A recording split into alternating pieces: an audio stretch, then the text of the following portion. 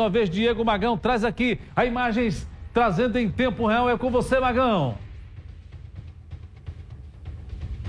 Cidade em ação.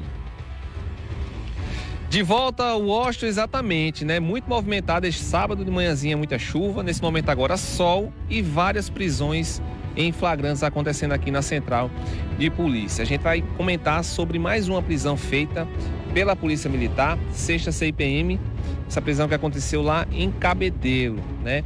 No, mais precisamente no Jardim Manguinhos, comunidade bem conhecida é, nessa região. Um rapaz, é, ele foi preso, conhecido como Jardel Jordão da Silva, como mostra as imagens. É, com ele foi encontrado é, vários pinos de crack, uma sacola também com crack e também maconha. Né? A polícia em rondas lá no local conseguiram chegar neste rapaz. Conversando aqui com os policiais, eles falaram que ele, esse rapaz, esse Jardel, ele é bastante conhecido lá na região. Inclusive tinha outro rapaz junto, mas fugou, né? Conseguiu fugir, mas a polícia conseguiu chegar neste, foi preso e ele foi trazido aqui para a central de polícia, mas ele é bem conhecido lá na cidade de Cabedelo, né? Mais uma ação da Polícia Militar, mais questão de tráfico.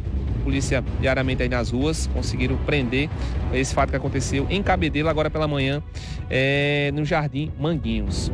Volto com vocês aí nos estúdios. Ok, Bagão, muito obrigado pela participação, viu? Aí é a área coordenada pela Major Viviane, né?